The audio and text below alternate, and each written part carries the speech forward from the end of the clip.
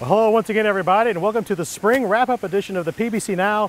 I'm Ken Gerlinger, coming to you today from the Sonesta Resort on Hilton Head Island. This has been the home of the PBC annual meetings for the last 10 years, and we want to thank them for allowing us to shoot this edition of the PBC Now here from their beautiful resort. Well, as I said, spring wrap-up edition, and we start with the final PBC championship of the 2016-17 season, our baseball tournament in Florence, South Carolina. And congratulations to the Georgia College Bobcats, who won the PBC tournament with a 6-5 win over UNC Pembroke in the championship game. Brandon Benson was named our tournament MVP as the Bobcats claim the title. Now, four teams went on to the NCAA tournament, and congratulations to the University of North Georgia, who won the Southeast Regional Championship and made their first ever appearance in the NCAA Division II World Series. They were the only team to have some World Series experiences this year. The Armstrong State softball team won the Super Regional for the fourth time in the last five years and returned to the Division II Softball World Series in Salem, Virginia. So congratulations to the Pirates. Well, that was just some of the spring sports teams we had making waves on a national level. In tennis, the Columbus State men's tennis team reached the national semifinals in Altamonte Springs, Florida, as did the Armstrong State women's tennis team. Moving on to track and field, the PBC sent 12 athletes to the NCAA Division II Track and Field Championships in Bradenton, Florida, and we came home with three All-Americans. Congratulations to Nova Southeastern's Shakira Bartley. She finished third in the triple jump to become the first All-American in program history there. Also, congratulations to Columbus State's Xavier Matthews, who finished sixth in the 100 meter dash. And also, congratulations to Florida Tech's Andre Rapp.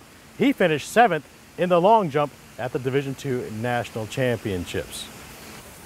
But the reason we're all here at the Sonesta Resort in Hilton Head Island is, of course, our PBC annual meetings and the PBC Annual Awards Dinner, which was held last night here in the main ballroom. We're going to go through the award winners tonight starting with the PBC Commissioner's Cup, which was presented for the first time ever to the University of North Georgia. It was a big night for North Georgia as they also won the PBC President Academic Award, which is given to the school that has the best ratio of student body GPA to student athlete GPA.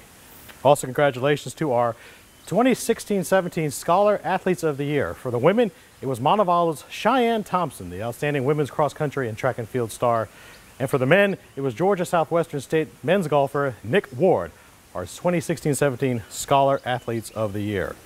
The SunTrust Foundation Connecting Communities Award was presented to UNC Pembroke for their Braves Buddies program, which brought elementary school children to campus. Also for SunTrust Foundation, the Graduate Scholarship went to Michael Thomas, a wrestler at UNC Pembroke, who's going to be going to dental school in Virginia. Congratulations to Michael. Our Make-A-Wish Awards. The Leanne Noble Make-A-Wish Most Funds Raised Award went for the eighth year in a row to the University of North Georgia. We also presented the Leanne Noble Make-A-Wish Most Improved Award, which went to Flagler College. So congratulations to Flagler.